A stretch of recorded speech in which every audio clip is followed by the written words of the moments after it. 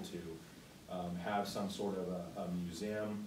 Um, again, it'd be, it'd be like a, uh, a multi-bay metal garage with an office, and the office would have a bunch of memorabilia. Each of the bays can have the antique engine per se in there with memorabilia from those specific, specific areas or organizations.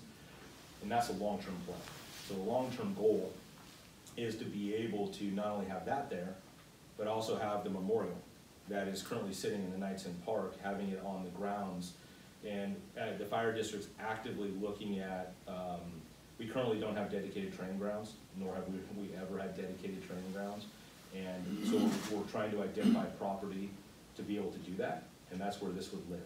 So, um, this ceremony, the long-term goal is to take this concept and move it onto district property to some degree as we move forward.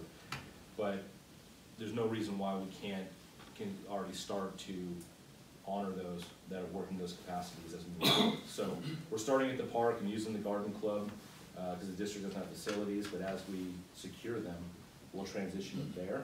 And we wanna make a, primarily, it was for these members, but the, the Knightsen Association, um, the memorial itself recognizes, I think it has language on there, does it not? That says to all volunteers of the county to some degree. Yeah, part of the memorial. And there's nothing out there throughout the county, and so our chief focus is that. But it, it- but it really points to, and it calls to all of the volunteer organizations that passed